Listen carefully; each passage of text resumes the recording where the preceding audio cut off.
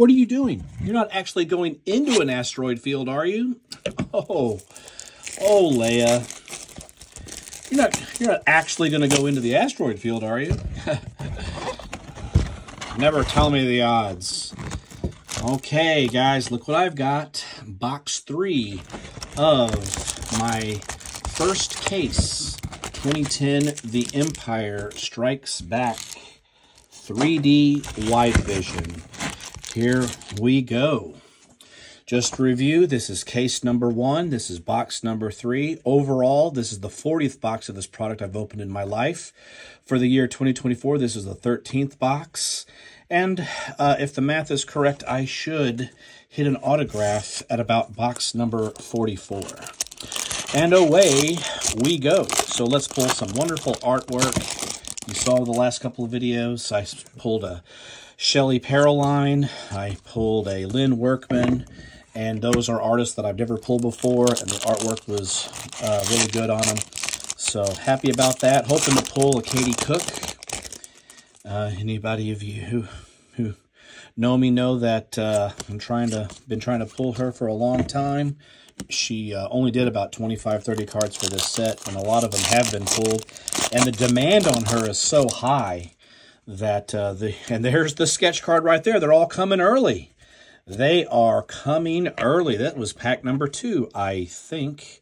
Okay, let's pull some wonderful artwork from my collection. Juan Carlos Ramos. So you know it'll be minimal. All right, I've seen some of it. I've got some. I've got several of his uh, sketch cards.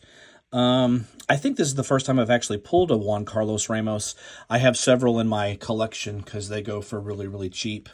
But uh, he, it, I do like actual sketch cards, so we'll see what he had. Oh, okay, I think we got a blue Boba Fett.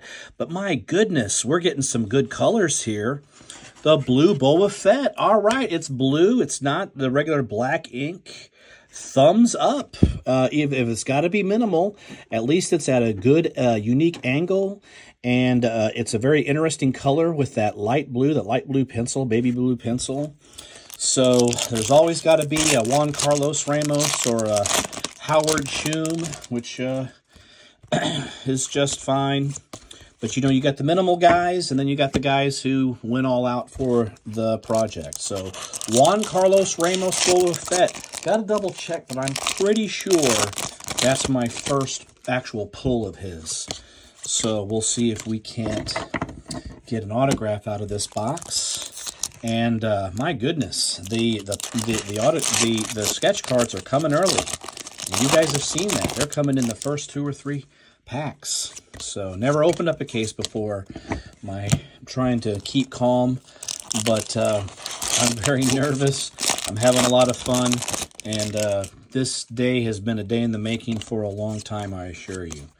So I'm glad that I'm filming it. I'm glad that you're taking this journey with me. I just want some wonderful art for my collection. If I don't pull an autograph, uh, that is uh, just how it goes because the autographs are very, very rare. One in every 1,055 packs. But uh, do want to pull some great art.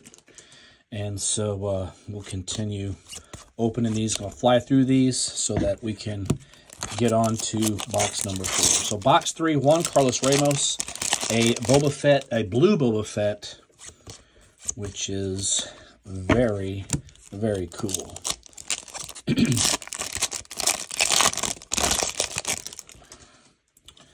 Love the wide vision style. Love these cards. Have plenty of of doubles from opening up so many boxes through the years. So I'm sure people have, other collectors have busted several cases of this. I was not collecting uh, Star Wars sketch cards. Didn't know about the product until uh, the, the overall hobby until 2016, January 2016. And this came out in, in 2010. So these sketch cards have been waiting to be freed from the carbonite block.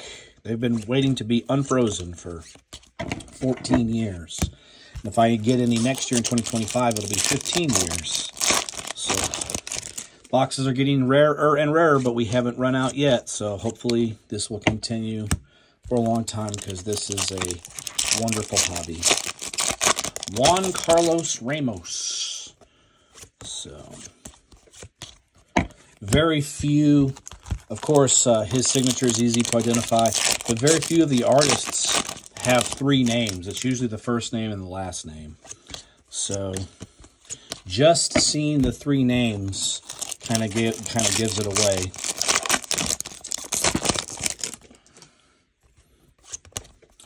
There might be some other artists out there with three names in the product, but I can't think of any off the top of my head. Usually, traditionally, just their first name followed by their last name. But a lot of great artists still left to pull. I'm hoping to pull some artists that I've never pulled before, or pull even pull some artists that uh, I have none of. That'll be my first card of them overall for this product. So, I've got Juan Carlos Ramos. Never pulled him before. And then got Lynn Workman, AT-AT driver out of box number two. And then I was able to get